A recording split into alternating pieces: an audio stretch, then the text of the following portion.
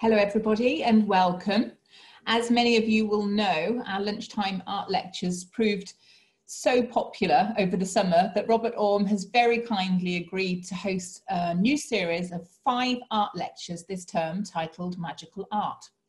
The first of these talks is on art and traditional magic, where Robert will look at how art has represented the ideas of astrology, alchemy and medicine.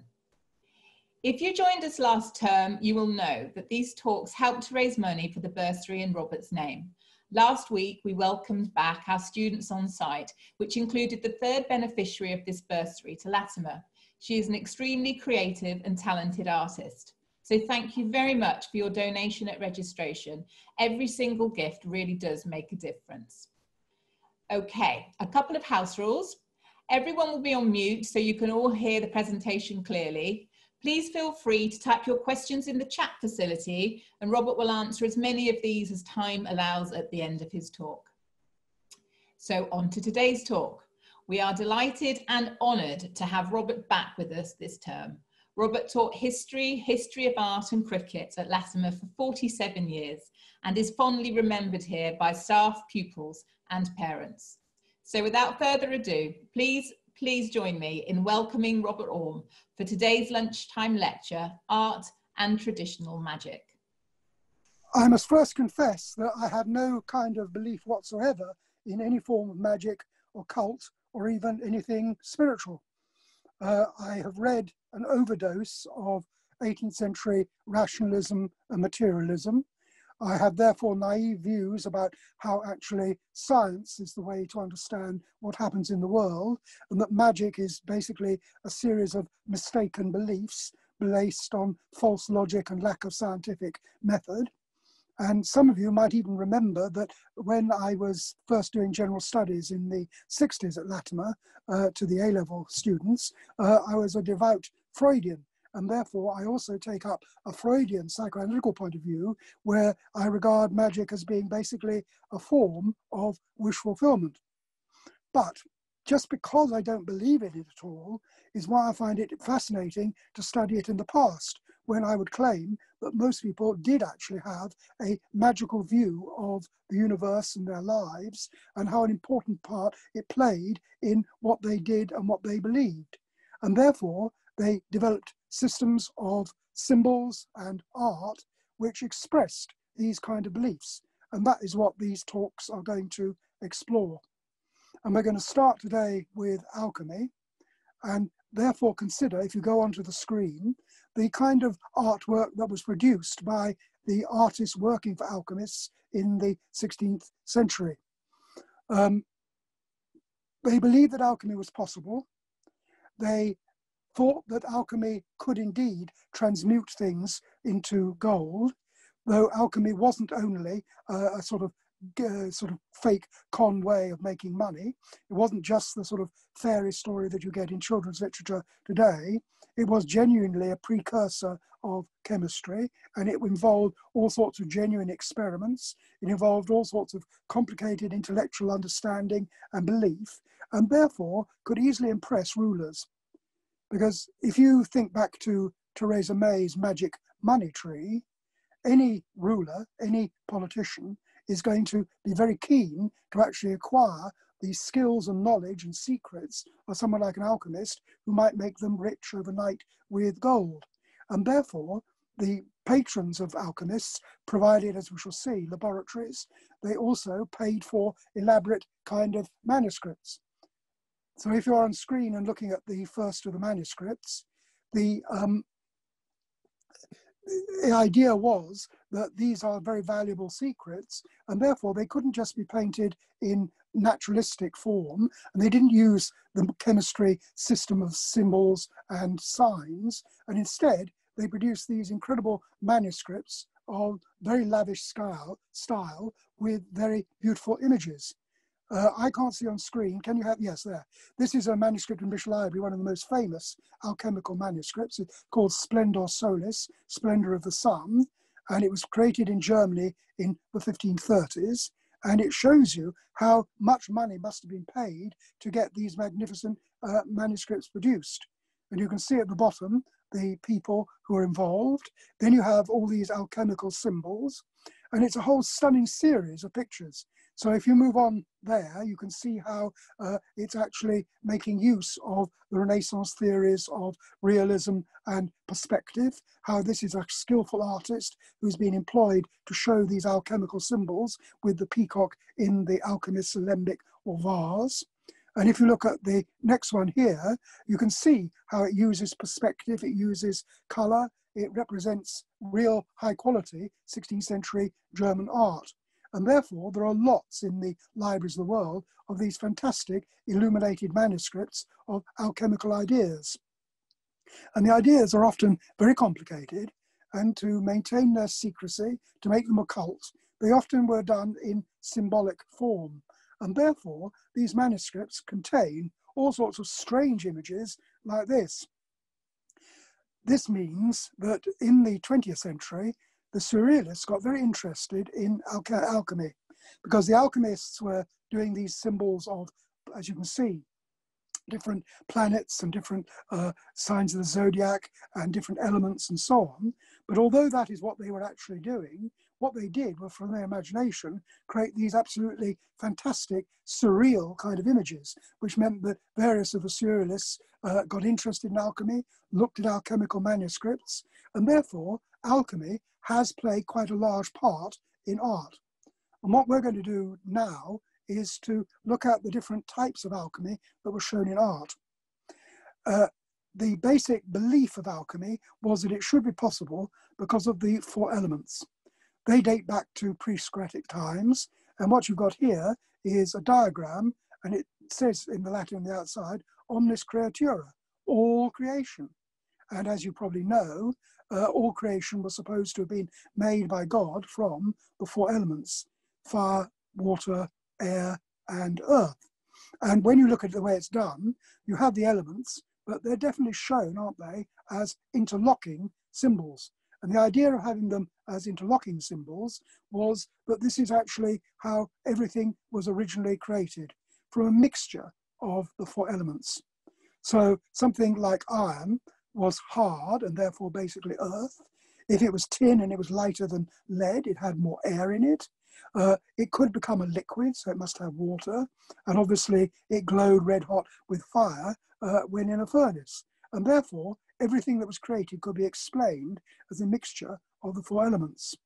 And the next diagram shows you the, sorry, the, the next picture shows you the way in which uh, alchemists took advantage of these ideas.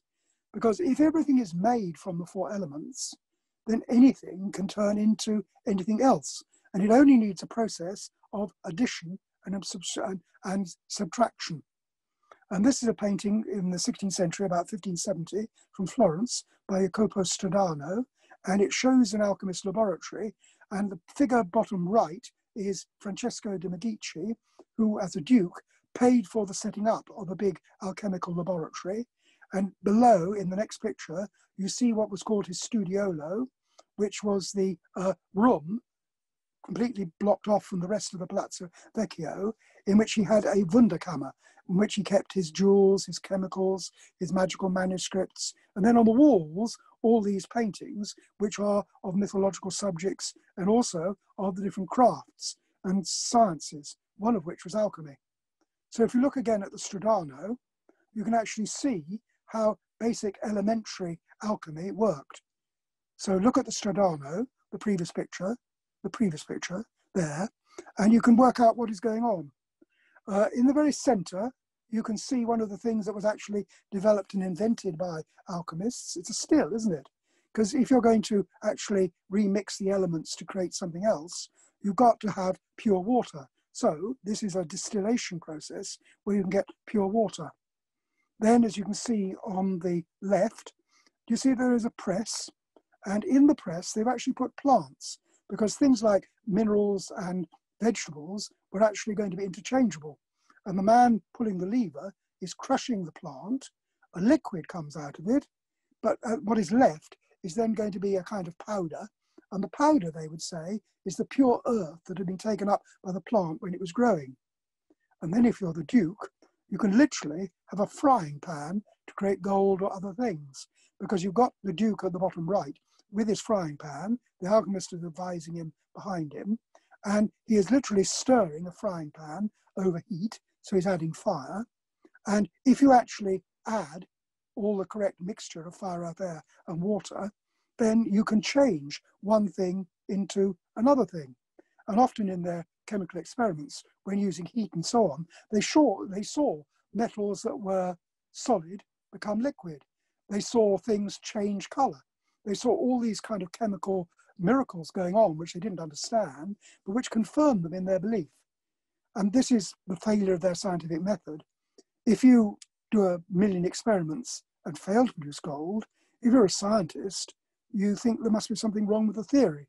But they weren't being scientific. They had this belief from the Bible and ancient philosophy that everything was the four elements, and therefore alchemy should be possible. So that's painting showing one kind of rather elementary kind of uh, alchemy. But there was another type of way of transforming things through what is now the popular image of alchemy in J.K. Rowling and so on, which is the Philosopher's Stone. So if you look at this diagram, you'll see this, which says at the center, lapis philosophorum. And as it says lapis philosophorum, it means the substance which is going to be capable of, when added to other things, transforming them and changing them. And you can see from the diagram labeling that it has actually got at the center lapis philosophorum, it has the words activa and passiva, active and passive. Then in the octagon around it, it's got calidus, and it's then got frigida and water and earth, and therefore the four elements. And therefore, the philosopher's stone is going to take the four elements, which are the corners of the square. They're going to take the triangle, which, as you can see, actually links into the moon and the sun and a planet. And the idea was that if you get the correct mixture of all the basic things of creation, the elements and the rays of the stars, and you mix them together correctly, you create a lapis philosophorum, which is the magical power to transform and change things. This basic idea has a very simple metaphorical kind of existence.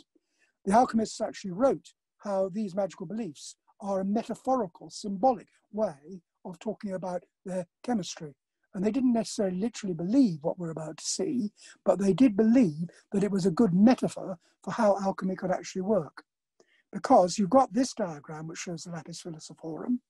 The next diagram shows again the lapis philosophorum, and it says salt, sulfur, and mercury, and it's showing the mixture. But as you can see in the center, it has the word semen. And therefore, in magical systems, you often use animism, you animate the world, and you believe that the relationship between physical material things, the chemicals, is actually the same and like actually the relationship between living things and humans. And therefore, they were seeking what was thought to be the perfect solution to the alchemist problem, this seminal kind of philosopher's stone that would produce the magic effects they wanted. So the next picture is labeled perfect solution. And it has, as you can see, an alchemist's vase, an alembic. Floating in the alembic are four heads, which are presumably uh, the four elements. And then if you look at the bottom of the alembic, you see how there are actually two naked couples having sex. And this alembic is in a distinctly womb-like kind of shape. And then at the top, in the vagina, the neck, you see a baby is emerging. And then from the top emerge these flowers. And in the original manuscript, uh, they are covered with gold. And therefore, this is an allegorical, an alchemical allegory of how actually the world can be reproduced by alchemists using the philosopher's stone. And the next alembic is one with a little man in it and what appear to be kind of semen floating around, which are going to rise up and give birth to some new kind of chemical compound. Then you get a book like this, which is about actually alchemical technique, and it has in it this mysterious diagram where on the left you can see these alchemical vessels or vases or alembics. And when you look at them, you can see, first of all, that they are definitely womb shaped. They have a tunnel at the top, which is vaginal. And then they have these spouts that come out and project. And you can see how conscious the analogy was, because next to this alchemical equipment, what you've actually got is a pair, a couple blending together and having sex and producing a baby. And therefore, you've got this system of alchemy where it developed its own kind of art. It developed these beautiful manuscripts, it developed these strange ideas, and it put them into these symbolic forms, which have later so appealed to the surrealists. But alchemists got a bad reputation. If you look at the next picture, which is a print by Peter Bruegel, this will remind you of that Ben Jonson play, uh, The Alchemist, because by the end of the 16th century, uh, and then through to the 17th century, although alchemy continued to be used and believed, Newton was an alchemist, uh, it was also at the time much criticized and satirized. So what you've got here in this Bruegel print is an alchemist on the right. He's an old man, he's got all these manuscript books in front of him. He spent his whole life studying alchemy. Then on the left, he's got his assistant, who is actually mixing the various different chemicals and minerals together at a very chaotic desk with bellows to add air, with fire to add heat, uh, with all sorts of ingredients that can be put together. But if you look, the whole laboratory is in total chaos. Uh, he is living in complete poverty because you can see how uh, the wife in the center has got in her hands her purse and she's trying to empty the purse onto the floor and it shows that no coins come out. And then if you look at the top center, do you see their children are actually climbing into a cupboard looking for food? Because this is the paradox of alchemy. If alchemy were true, and they controlled the amount of gold they made, then alchemists should be the richest people in the world. But really, as you can see, the alchemist is living in poverty, and the implication of the print is that he's led his whole life following a delusion. And you can see just below him to the left to see there is a fool with a bellows blowing up his importance. And therefore, you get in the picture top right, looking through the window, to see his wife and children have to leave the alchemist because he's completely poor, and they go and look for uh, hope in a nunnery to bring up their family. Therefore, by the 17th, 18th centuries, you obviously got the end of belief in alchemy, you got the development of chemistry, and you got people being very skeptical. So that in the Ben Jonson play, The Alchemist, uh, the alchemist is not only deluding himself, but he's also trying to delude everybody else. And therefore, alchemists ended up with the reputation of being con men, confidence tricksters, and therefore alchemy lost its role as a central belief in the scientific world. But by the end of the 18th century, in this painting by Wright of Derby, you get a change of attitude towards alchemy in the late 18th century. This is a highly realistic painting by Wright of Derby, who specialized in tenebrism, these dark scenes, and then these fantastic illuminations. And this shows you a new romantic interest in alchemy. It's in a Gothic kind of horror kind of building. It's going to appear alchemy in lots of the kind of stories. Um, alchemists believe that with the Philosopher's Stone, they could create a little man, a homunculus, and therefore is the background to Mary Shelley's Frankenstein kind of myths. And therefore, alchemy became popular in terms of actually, first of all, belief, because this is the end of the 18th century when there were all sorts of Freemasonry, Rosicrucian, and Illuminati societies who believed in alchemical ideas. And then there were also all these writers and painters who believed that alchemy made a really good Gothic mystery kind of subject. And this one has got a slightly more complicated implication because when it was produced in 1771, it was entitled The Alchemist, but The Alchemist Discovering Phosphorus. And what Wright has done is to show an alchemist doing experiments and then, by chance, coming on something real. because inside his glass vase, you see the enormous light that comes out. And this is him allegedly discovering phosphorus and its power of illumination. And therefore, he's not disrespecting alchemy. He is saying that alchemy is actually the forerunner of genuine chemical experiments. And then, if you look at the figure there, you see the figure is kneeling as if actually in awe of Christ, of God. And the wonder and awe of alchemy is something that really impressed the Romantics. So, arguably, alchemy was a very important part of the worldview of lots of learned people all the way through to the 18th century and had lots of influence on the way that you could paint paintings. One of the other main beliefs was going to be in astrology.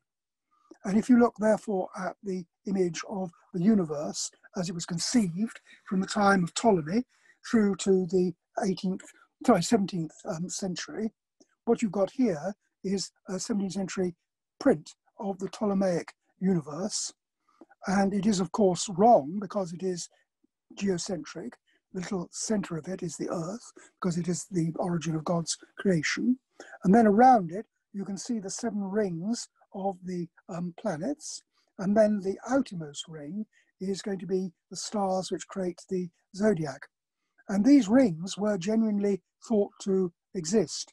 They had to be drawn like this in a map, but they were the crystal spheres. They were the system of crystal rings which held planets and zodiac in their place in the constellations of the sky as they changed through the year. And they were crystal because they were solid, but they were going to be invisible. And therefore, what you've got is this complete view of the universe and how it worked. But this is not astronomy, this is astrology, because the belief in astrology was that actually the things in the sky are going to have an enormous influence on the Earth. And as well as the planets, which we'll look at, you also have these fantastic maps that were produced of the zodiac. And zodiac mythology goes back to ancient Babylonian times, linking different patterns in the sky to stars, and therefore creating this fabulous mythology of all the different signs of the zodiac, which was supposed to have such an influence on everything that happened in this earth in the world. And therefore, you've got these astrologers not just believing that this is the system of how the universe worked, but also believing in the influence of the stars. So if you look at this strange image of, no, the next one is the, go to the next one. If you look at this strange image here of the um, astrologer, he is living on Earth, isn't he? But you see, he literally penetrates through the stars to the outer rings of the universe. And therefore, astrologers know about what is going to happen on Earth because what is happening on Earth is influenced by, caused by, and if you're a real astrologer, you might even believe determined by, though that wasn't what the Christian church thought, um, it had a determining influence on what happened on Earth. And this is not an illogical thing to actually believe. If you actually stand on this Earth and you look at the sun moving round, the automatic logical thing to believe is that we are standing still and the sun is the center, the earth is the center of the universe, and the sun goes round the earth. So the most logical thing for them to believe was a geocentric universe. And then if you look at the top, you can see there's a moon, and everybody had known for millennia that the moon was linked to the tides, and the phase of the moon coincided with the movement of water on Earth and the tides. And then you've got the sun, and the sun sends down rays, and the sun is obviously linked to the element of fire. And these rays hit the tree in the center. And a tree in the center changes through the year. As the sun warms up in the spring, miraculously, leaves appear. When the sun gets cooler in winter, the leaves disappear. Therefore, the sun and its rays are the cause of what is happening in vegetable life. So therefore, it was entirely logical to believe that everything was going to be influenced by rays coming down from all these different stars and planets and influencing what happened on Earth. And this was a very widespread belief. If you go back to the diagram of the universe, you can see this is a diagram of the four elements, and each of the planets in particular was linked to a different element. But it also says, doesn't it, mundus annus homo. Mundus means world or universe, which is linked to the elements and the stars. And then it says annus, because the year is linked as well. So if you go to the most famous manuscript produced in the 15th century, which is the Très Riche of the Duc de Berry, who was the son of the King of France and lived in uh, France and Burgundy in the early 15th century. This is produced about 1412 or so by a series of brothers, the Limbourg brothers, and some later artists. But basically, this is an illustration of how central to everybody's lives were the beliefs in astrology, because this is a book of hours. A book of hours is the most common form of medieval manuscript, and it consists of texts of the Bible, psalms, prayers, and so on that should be said every day at particular hours of the day through the year. And therefore, the opening of the Très Riche, which we're looking at here, is, as you can see, going to actually be a calendar. And there is this series, fabulous series, of 12 pictures of the different months of the year and how they actually influence lives. In this one, you have probably a real castle, and then you have the life of the peasants in the fields. In the previous one, you've got the uh, Duke himself uh, giving a feast, uh, and then above them, as you can see, you have these circular designs, and these circular designs were all about the way in which, according to the movements of the sky through the year, at each point in the year, there were going to be different angles of the sun, there were going to be different stars in the sky, different signs of the zodiac rose above the horizon, and therefore each month was going to be different. So you get a whole series. The next one. And uh, therefore, you get this whole series where each month is given its activities and also the signs of the zodiac that control things like the weather and the way of life on Earth. And this is a really precious manuscript that would have been in the Duke's private collection, which he kept in a chapel in one of his castles. But it also had a big influence in Italian Renaissance art. And if you go to Ferrara and you look at the Palazzo Schifanoia, you should find, sorry, I, I mistook leaving this one out. I could stay on the Zodiac Man.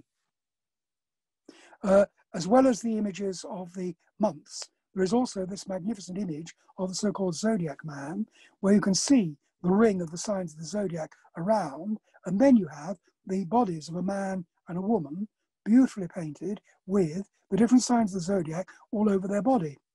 And this is not a surreal image, but this is a medical image. This is actually one of the bases of most medicine up until the 18th century, where, along with the elements uh, causing um, you to be ill, because disease was a wrong mixture of fire, earth, air, and water, it was also going to be caused by the rays of the different signs of the zodiac and the planets.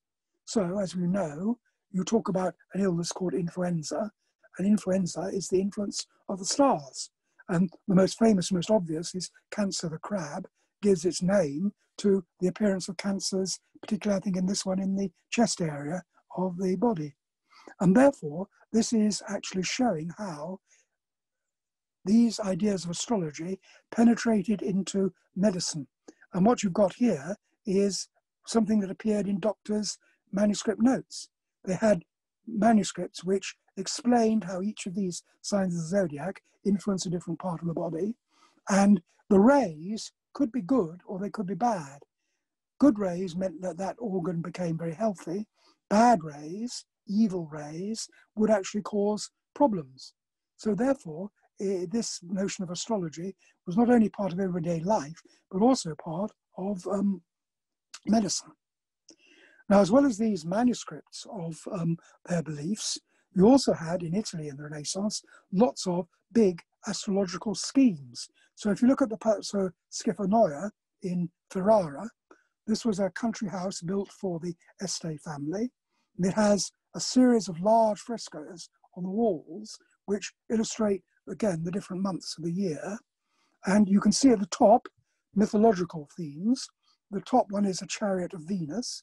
And then on the bottom, you can see a group of courtiers in their best clothing uh, behaving in the ways that are influenced by the planet Venus at this time of year. And then in the center, you see there's a whole band of these astrological figures, so that Venus in this one is linked to, in the dead center, to see there is Taurus the bull, which is the sign of the zodiac. And therefore, there are lots of these large uh, astrological schemes that became part of Italian Renaissance art in the 15th and 16th centuries. But the most clear way in which actually you could see the influence of uh, astrology was in the belief in horoscopes. And when you look at this picture, you've got a 16th century print of a woman giving childbirth to see how she's sitting on a birth stool and she's been helped by midwives. But in the background, you've got two astrologers who are looking up into through the window into the starry sky. And then you see they're drawing a map on the table. And the map will have on it what were the particular stars and signs of the zodiac that had just risen freshly above the horizon at the very moment when the baby was born.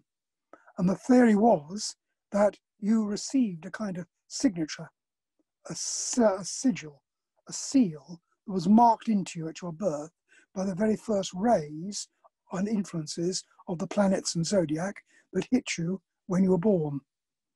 They thought of the baby as having very soft flesh. If it's got very soft flesh, then actually the rays can penetrate more easily than they can that of a hardened adult. Also, the top of the baby's head has a hole in it, and that's literally where rays are going to come down from the fresh new stars with their biggest influence that go straight into your head and therefore condition, or as some astrologers said, determine what your character is going to be. And therefore, our uh, astrology became very much a psychological system. Each of these different signs of the zodiac was going to actually have an impact, imprint of a different kind of character on your psychology. And this is shown in this series of illustrations from a 15th century manuscript of a poem by Leonardo Dati, De Sphaera, on the spheres, where the illustrations are showing you the way in which actually they had a very strong belief in Renaissance Italy in the influence of the stars on all the things that you did. So, very obviously, this is Mars. Mars is named as a god of war, so he's a soldier. And also, uh, it's thought that Mars got tended to get linked to war because it's a so-called blood red planet. Is that the red of blood or is it the red of fire? But either way, it was supposed that if you were born under the fresh influence of Mars, together with Scorpio, which is the circle to the left, or to uh, Aries the ram, which is on the right, have a mixture, a conjunction of rays from all those three things the planet Mars and the two signs of the zodiac.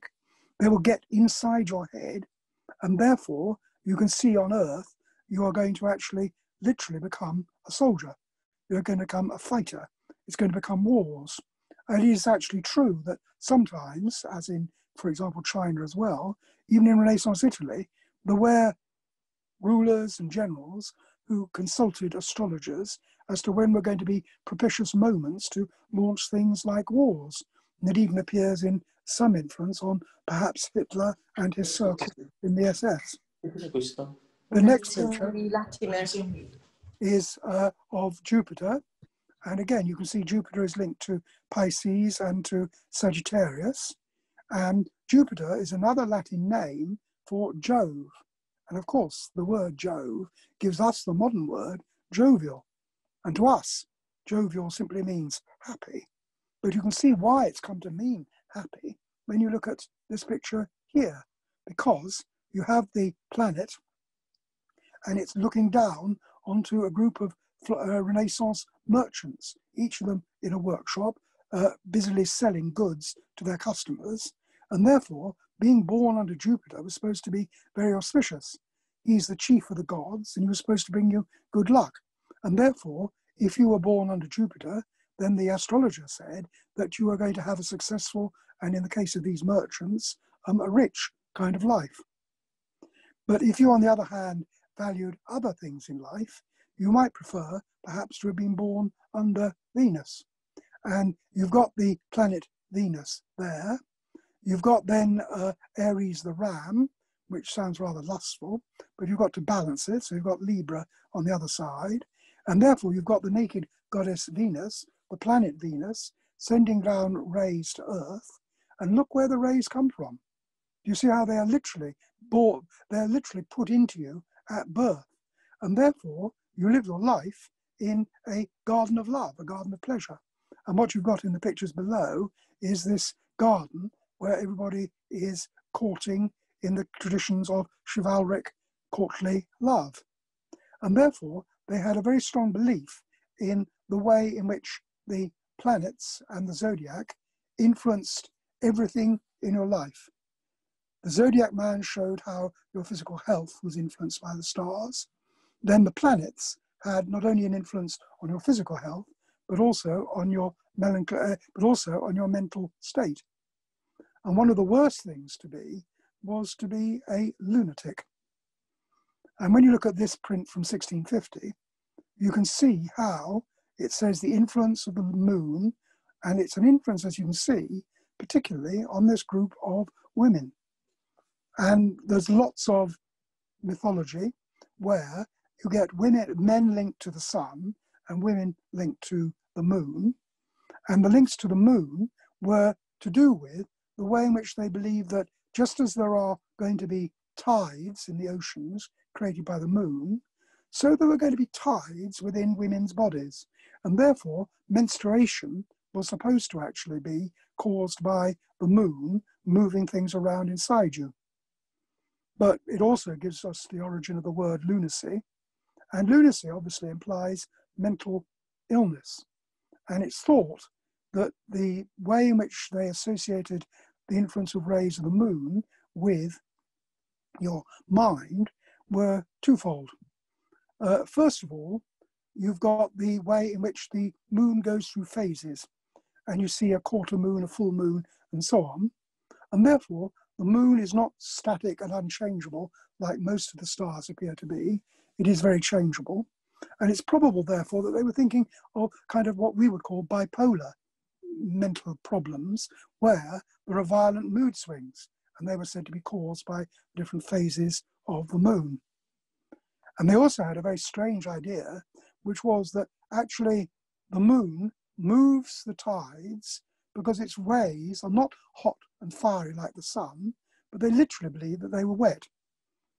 Go out in midsummer in the really hot, starless, uh, starful, cloudless sky, and you'll see the moon, full moon, coming down. And then when you go to the grass next morning, it's going to be covered with dew, isn't it? And they literally believed that dew was from the rays of the moon, which was a watery kind of planet, and was sending down these watery rays that A, made women menstruate, and B, made them, unfortunately, according to their beliefs, literally soft in the head. And therefore, you've got all these ways in which astrology influenced your actual way of living, your bodily health, and your psychology. There are also all sorts of links between magic and what we would call psychology today.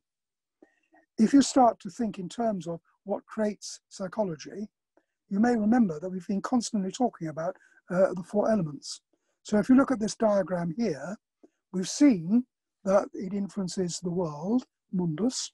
We've seen that the four elements influence annus, the stage of the year, but it also says homo, which means the, the four elements are going to have a big influence on your body because your body is made of fire, earth, air, and water, and an illness is simply too much or too little of different mixtures of these four elements inside you. But it is also going to, according to some beliefs in the 16th century, determine your mental state.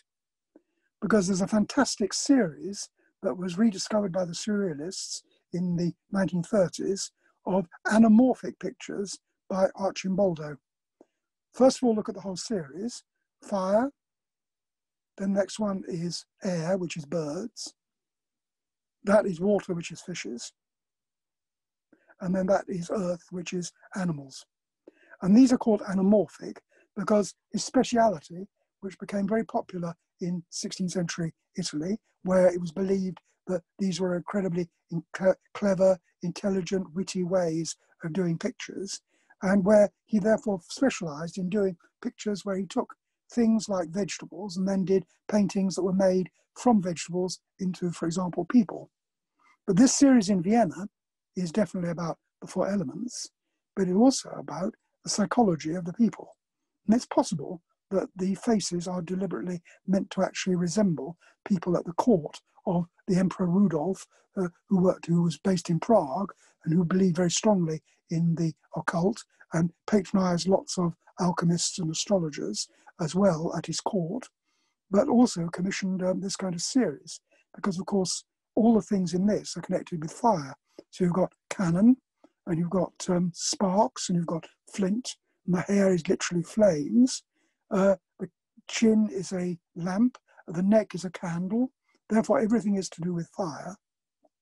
And if you think of actually how we talk about personality and psychology today, we're still actually left with the legacy of this vocabulary of what the elements do. You talk about a fiery personality. You talk about the way in which somebody is hot tempered. Uh, whereas we know and use these simply as metaphorical, symbolic descriptions, in the 16th century, they were metaphors, they were symbols, but they were literally believed in because the mind was created out of the four elements fire, earth, air, and water. Then, if you're born with air, this is the one that shows you made out of birds. This was pretty good because air was associated with uh, being light-headed. Uh, it was supposed to help your imagination and your ideas to float around. And again, if you talk about light-hearted, it's supposed to be making you relatively happy, isn't it? Therefore, to be an airy personality was perhaps more desirable than being fiery. But you definitely don't want to be called wet because all these fishes are there. And if you were at Latymer in any of the decays between the 60s and now, the word wet was very current in terms of disparaging and bullying kids who are said to be wet.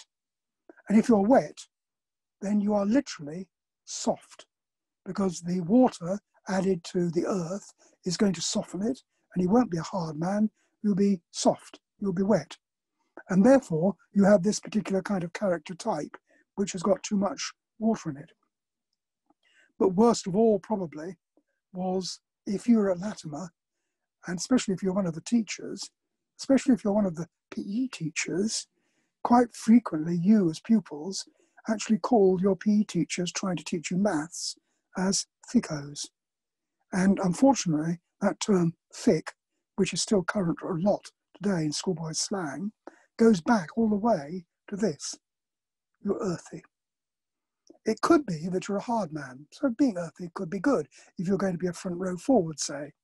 But sadly, if there is too much earth in your head, they believe that the different parts of your brain the senses, the intelligence, the memory, were connected together by literally tubes. And if there was too much earth in the tubes, then the transit of ideas through your head was slow and you were thick. And therefore, you have all these different character types which were based on the four elements. But you've probably heard how the main psychological system was not about the elements, but about the four humours. And this is an idea that goes back to ancient Greece. Uh, it's there in Galenic medicine, and it lasted therefore way through to the 18th century. And there were going to be four basic humours yellow bile, black bile, phlegm, and blood. And these were again supposed to be things that determined your physical medical health, but also your psychological state. And you can see that they basically derive from the four elements. So there are some of them that are hotter, drier, wetter, or colder. And these different kind of uh, humors, as they were called, were going to create different personality types. So if you look at this diagram of a man, he has literally been quartered where you can see that he may be very phlegmatic, and that is because you're pretty wet, because you've got too much sort of liquid in you, too much phlegm. Uh, you might be sanguine, which in modern language means that you're kind of optimistic, but it literally means that you're bloody.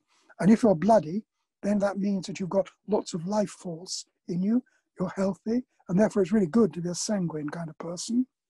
Uh, you might be uh, someone who is a bit um, bilious, and that would not be a good thing because you know how yellow bile is not like, not nice, and you might have uh, cause, and that causes too much choler, and you become choleric, and that means that it's to do with anger, doesn't it? And then bottom left, you've got melancholia, melancholic, and that word melancholy has come to have a completely different meaning now than what it used to have in the past. It was no, stay on the diagram, please. It was literally a one of the four humours, and it was supposed to be too much earth inside you, and it was said to be under the influence, particularly of the heaviest, the biggest of the planets, Saturn, and therefore it might make you a melancholic person. And if you'd lived in the Middle Ages and you were melancholic, that was supposed to be really bad. It was linked to acedia. It was linked to laziness not doing anything, uh, living a very passive kind of life. But in the Renaissance, it's possible that it had a change of meaning and a revaluation, because it famously is the subject of one of Dürer's most wonderful prints, the Melancholia I, which was produced in about the year 1514. And it's a typical melancholic figure because she's sitting there with her head down, her resting on her hand. The face is in darkness because melancholy tends to be linked to blackness. And therefore, she may be a typical kind of figure of melancholy. Uh, Dürer's mother had just died that year, and therefore it may be literally melancholy in the modern sense. And there's a big dispute. Everybody disagrees as to what all the different symbols that you can see around in the painting might mean. But the study I first read, which I still like and believe in, was written by Erwin Panofsky over the years. And his analysis linked this image to the influence of the ideas of Neoplatonism. Do you remember when we were doing Botticelli? Uh, we looked at the influence of Ficino on Botticelli's theory of love. Well, Ficino also had a new idea about melancholy, where he thought that these kind of thoughtful people were going to be the intellectuals. And he argued that the uh, fact that you were thoughtful made you a more clever person, a more intellectual person, and you could get a kind of Platonic inspiration from the world around you that made you a leading intellectual. And in Germany in the early 16th century, uh, lots of the ideas of the Neoplatonists and Ficino were promulgated in this book by uh, Heinrich Cornelius Agrippa, which, as you can see, is called De Occulta Philosophia. And you've got the German, uh, sorry, the Latin edition, that is what was around in Germany in the 16th century on the left. And then you've got three books of occult philosophy translated into English in the 17th century. And in his occult philosophy, he argued that actually melancholy was going to be a good thing to have. And he believed that melancholy was linked not only to the intellect, but also to genius. And he thought that when you are in a situation where you're in melancholy um, um, meditation, he believed that it was actually very strongly going to influence your imagination. And therefore, when you look at the Dürer picture, one of the levels of meaning may be that it is literally, as you can see, sadness. But around the figure of melancholy, you have all these other things, don't you? Uh, there are lots of things that are, that are linked to uh, masonry and to um, carpentry. But there are also lots of things that are linked to maths and to geometry. And if you look on the wall immediately above her head, you've got one of those magic squares where when you add up the numbers crossways and vertically, they always come to the same result and therefore have some kind of magical uh, significance. And the theory was that in your melancholy state, you actually might receive a kind of Platonic inspiration from the world soul, and that your imagination was fired. And therefore, this may be an allegory of melancholy as sadness from the way the figure sits, but it may also be an image of artistic creativity, and it may also be an image of actually the way in which beauty can be created by the artist. Because, of course, as you know, the Neoplatonic theory was that actually beauty in the human body is to do with proportion and geometry and numbers, as we heard in discussing Ficino. But it also appears in Dürer, who did studies of human anatomy, where he added mathematical proportions that created beauty. Therefore, I think that this may well be a very personal image from Dürer, taking these traditional ideas of melancholy and trying to symbolize his own creativity in the picture. There was another way of reading um, human psychology, and you've probably heard of chiromancy, where actually, if you believe in chiromancy, you can read people's fortunes by looking at the signs in their hands. But there was also a science, or magical science, of what was called physiognomy. And in Naples, there was a writer, Giambattista Porta, who produced a book called De Physiognomia. And there he is, and the title page of his book. And this arguably is the basis of a painting in the National Gallery by Titian, which you can see as the three ages of man, where you've got these three disembodied heads, and then underneath you've got these three animals. And it's thought that these, this image may well derive from the ideas of people like Porta. So if you look at the Porta title page, you've got his own portrait done realistically, but then around, you see there are these strange little pictures. And if you go into the book itself, you open it up, you find these incredible surreal images. For example, look at this man with a lion. And the theory, as you can obviously imagine, was that when you look at a human face, you can read the character of the person because the, the person's face resembles a creature.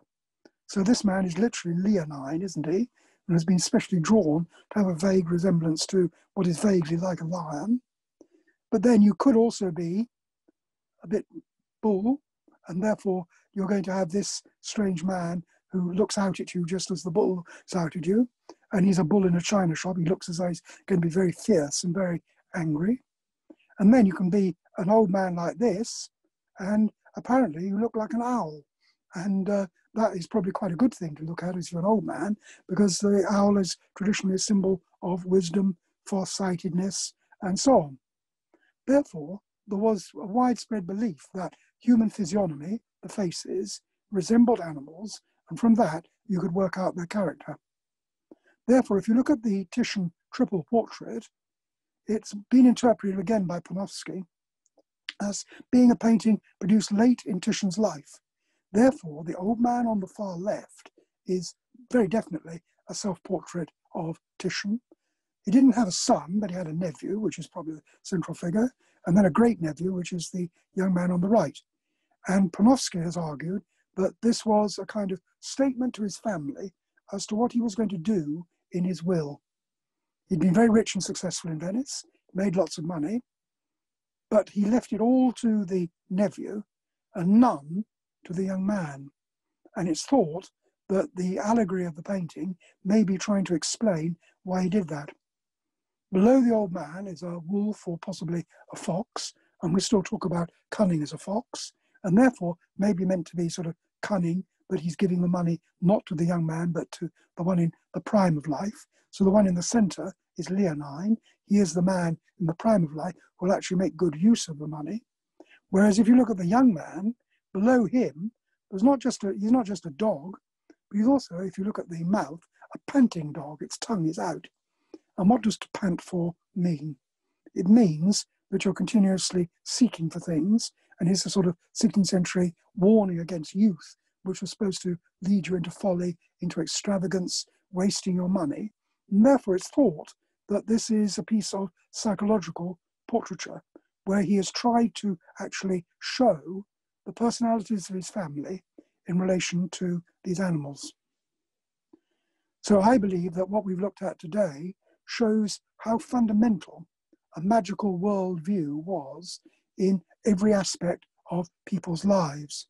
We've seen how alchemy was something that was a serious pseudoscience, was a serious set of experiments, and a symbolic worldview. We've seen how astrology is really a form of uh, almost Jungian archetypal uh, psychology.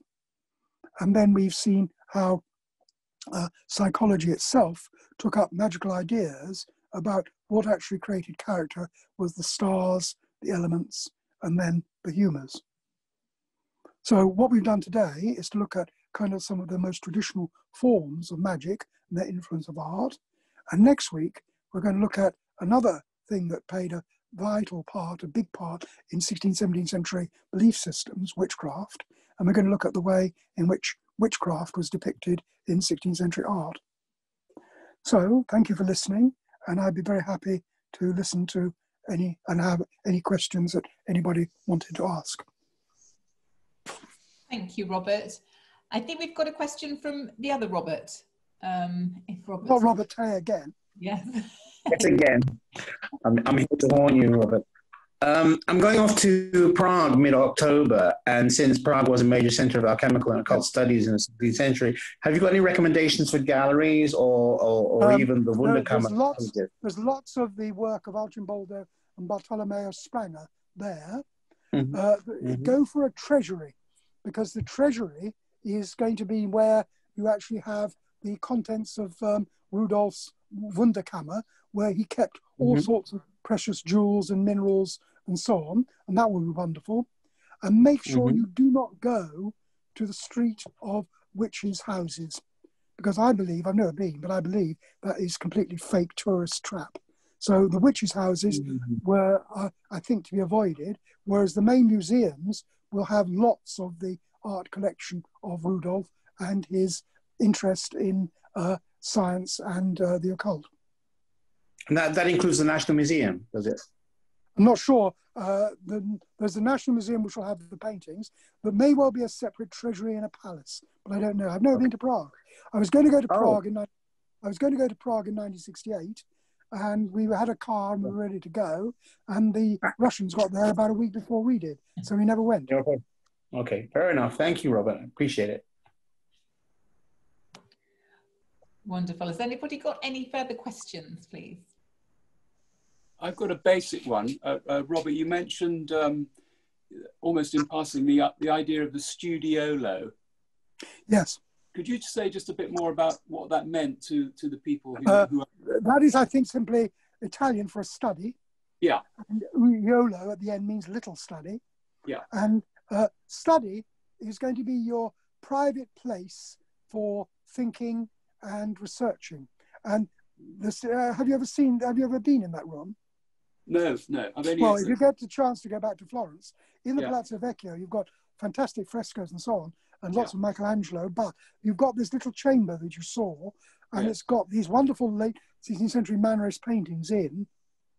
And there are lots of books that have been written on the Medici and their interest in the occult. And in particular, this man, Francesco de' Medici, and uh, he was very strongly believing in an occult universe, and he would have had this as his own private study room in which he would have kept books, manuscripts, and then Wunderkammer, which means all the minerals and the jewels and things like that, and then all sorts of um, uh, tetramorphs and uh, all sorts of monsters and strange biological things and plants from the New World. And there have been lots of books written on Francesco de' Medici and the Medici and the occult, and I would guess you'd enjoy them a lot. Yeah. So the idea is that as a wealthy man, you're at the center of your own little universe, as it were. Uh, yes, again, I agree with you. But um, the Wunderkammer was actually a recre- uh, you know about the concept of microcosm and macrocosm. Yes, exactly. And the yeah. way in which actually uh, you're living in a little world, and you yes. can make the little world echo uh, yeah. your, the, uh, the universe as you understand it. Yeah, yeah, great. Thank you. We've got a question from um, Angela. Would you like to unmute yourself? Hello. Hello. Um, thank you very much. That was very interesting, um, your lecture. Could you just say a tiny bit about the Duke de Berry? Uh, yes. Uh, Duc de Berry was um, a son of the King of France. He was brother of later French kings. Uh, he was obviously immensely rich from the land landed estates you can see around his castles in the paintings. And he was um, a really interesting personality, which you can find out a lot about because of the various manuscripts that he collected. And people have done analyses of the uh, manuscript collection, and they come up with quite a strong idea of uh, what his character was actually like. Um, the paintings themselves are conventional, they are the normative way in which aristocratic intellectuals viewed the world. But in them, you see lots of details of scenes of courtly life. There are several which include feasts that are going on in his castle, and there have been various interpretations where they are partly to do with luxury, they're to do with perhaps a new cult of voluptas, of um, being enjoying pleasure, and there have even been people who've written articles and books where they look at the relationships going on inside the tables, inside the feasts in the Très Riches Heures, and they not only show men and women courting and making love, but they also show uh, various of the nobles at the Duc de Berry's court, uh, possibly with their boyfriends as well. And therefore, there's been lots of research into the kind of lifestyle that he was living. And he is creating a remarkable court culture and it's very difficult to know how to characterize it. You usually talk about these as the pinnacles of late medieval art, but this is happening in 14, early 1400s when you would assume that you were looking, uh, looking at um, humanism going on in Italy uh, at the time. And the Duc de Berry, his manuscripts are mostly going to be religious and occult rather than, as far as I know, humanist. So you've got a distinct division between the characteristics of the Italian and Northern Renaissances. Thank you. And where would we find that particular manuscript, that book of hours? Uh, Chantilly. Uh, the Musée Condé at Chantilly is well worth going to and uh, has that as well as Leonardo, I think. But beware, in probably 1970, I was staying in Paris. No, in fact, earlier, when I was between school and university, I was staying in Paris and I made a special train journey to Chantilly to go and visit the Musée Condé and to see the Leonardo and see the Riches Heures. And when I got there, I found that Chantilly is also a centre of horse racing, and therefore the Musée Condé was closed for the day. and I had to spend the whole day watching horse racing, which I hated and I've never watched since. Thank you. Thank you, Robert. Uh, we've probably got time for one final question, if anybody has one.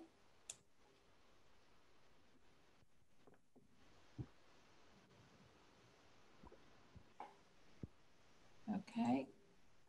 In which case, thank you very much, Robert. As always, the last half hour has both been informative and inspiring. And if, like me, you're ready to sign up for the second in the series next week, then please do so by clicking on the forthcoming events link in the chat. And Robert will be talking about the changing beliefs about witchcraft expressed in art. Um, if you can't make it, uh, we will miss you, of course, but you can now catch up on all our talks, including Robert's first series on Impressionism, Expressionism and Abstraction from our video library on the website. Um, for ease, again, the link is in the chat facility. Um, and you will also find there a link to Robert's bursary if anybody would like to make a donation. As well as Robert's lunchtime talk next week, we welcome back former head, Peter Winter, on Wednesday evening, 23rd of September. So grab yourself a large glass of Bordeaux and tune in to hear Peter talk about his lifelong love of France, its people, the language, and the culture. That brings us to the end of today's lunchtime lecture. So thank you all so much for joining us today. Thank you, Robert, for keeping us engaged with your incredible knowledge, Tony for your IT support, and I do hope that we see you all mm-hmm. again very soon. Many thanks. Bye.